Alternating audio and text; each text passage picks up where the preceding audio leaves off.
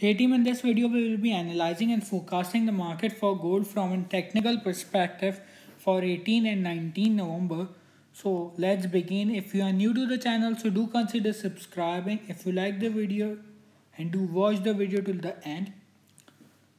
Let's begin with the analysis.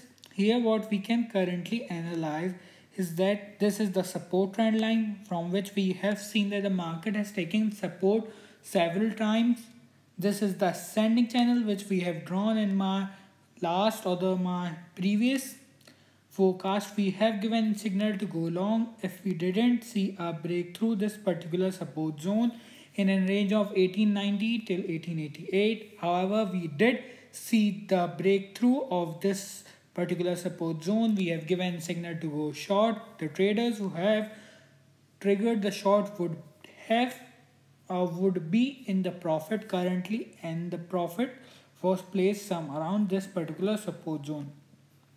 Now coming on the opportunity is that we can see that the market is currently heading towards a strong support zone which is in range of some around 1858 till some around 1853 we have previously seen that the market did took in support from this particular support zone when we did had a news of vaccine for COVID-19 coming out which was 90% effective.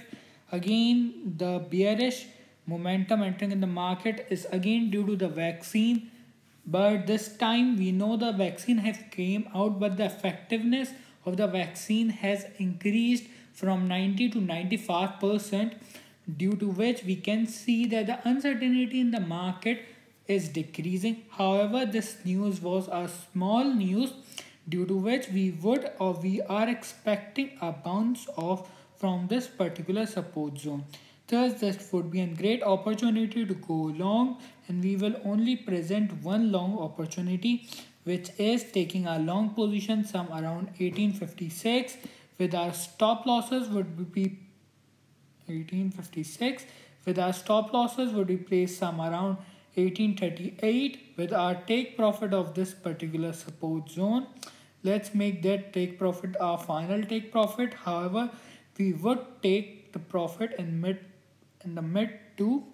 So our first take profit of this trade which would be triggered some around 1853 to 1856 with our stop losses placed some around 1830 1830 to 1825 with our take profit would be some around or our first take profit would be some around 1892 and our final and the second take profit would be of this particular resistance zone which is in range of 1935 this trade will give an extra reward of approx 1 ratio 1.38 and our first take profit would give an extra reward of approx 1 ratio 2 so in total we will have a extra reward of approx 2 ratio 5 if you like the video, do like, share and comment below.